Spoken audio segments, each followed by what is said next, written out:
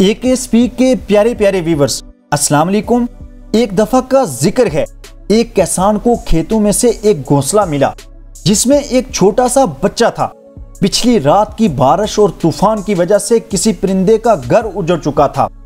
किसान ने इधर उधर देखा, परिंदा कहीं दिखाई न दिया तो उसने बच्चे को लिए घर आ गया।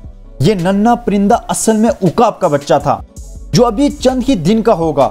किसान ने उसे घर लाकर मुर्गियों के बच्चे के साथ ही रख छोड़ा और उकाब पलने लगा। वो मुर्गियों के बच्चे की तरह दाना चुकता और चलता फिरता।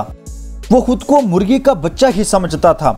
उसकी ज़िंदगी ऐसे ही गुजरती जा रही थी। उसने आसमान की तरफ़ कभी सर उठाकर ना देखा था, क्योंकि मुर्गियों के बच्चे ऐसा कभी ना करते थे। किसान को भी उकाब की याद न रखी उसकी ज़िंदगी में और भी बहुत से मसाइल थे।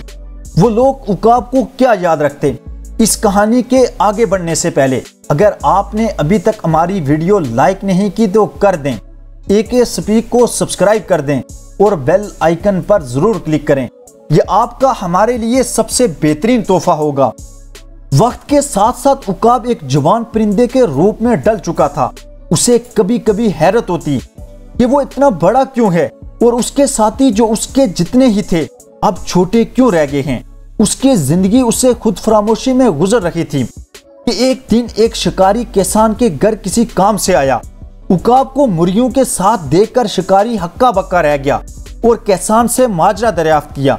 किसान कहने लगा, मुझे ये एक छोटे बच्चे की सूरत मिला था, इसे उड़ना भी नहीं आता।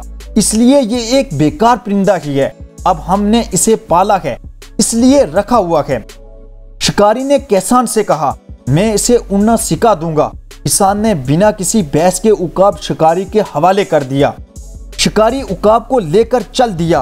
अब वो मुसलसल कोई तरकीब सोच रहा था, जिससे इस मुर्गी की सोच वाले उकाब को असल उकाब बनाया जाए।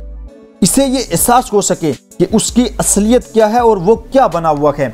शिकारी ने बहुत कोशिश की, मगर कोई फ़ायदा ना हुआ। आखिर उसने एक सख्त फैसला किया। और उकाब को लिए दूर पहाड़ की जानब चल दिया। वो वहाँ की बुलंद तरीन पहाड़ की चोटी पर पहुँचा और उकाब को उठाकर नीचे फेंक दिया। उकाब के हवास उड़ गए। उसे अपनी मौत सामने नज़र आ रही थी।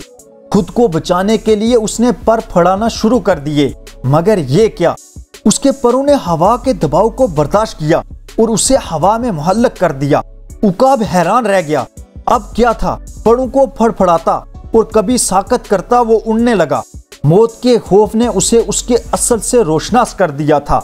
इसके लिए ये सब बहुत ही नया और खूबसूरत था। इतनी बुलंदी से हर चीज़ उसे बहुत अच्छी लग रही थी। वो अपने मौसम को न भूला था, जिसने उसे उसकी शनाख्त लौटा दी थी। वो कभी इधर उठता तो कभी उधर, और कभी आकर शिकारी के कंधे पर बैठ जाता। अलगर्ज अब वो असल उका बन चुका था। अब उसके सामने एक नया जहान था। दरियाफ्त करने को। तो प्यारे दोस्तों, ज़िंदगी में कभी कभी हम दूसरों को देखकर उनका रूप इख्तियार कर लेते हैं। हमें पता भी नहीं चलता कि हम सिर्फ़ वक्त गुजार रहे हैं। हमारी असल सलाहियतें तो ज़ाया हो रही हैं। अगर कभी आपके सामने भी पहाड़ की चोटी जैसा खतरनाक मोड़ आ जाए तो अपने रब पर भरोसा रखिए। हो सकता है आपको ज़िंदगी की एक नई उड़ान सिखाना चाह रही हो। कभी कभी हमें जो आखिरी लम्हा लगता है वो ही एक नई इब्तता होती है। कमेंट सेक्शन में ये ज़रूर बताइएगा, आपको ये हमारी कहानी कैसी लगी? आखिर तक हमारा साथ देने का बहुत शुक्रिया। खुश रहें और खुशियाँ बांटें।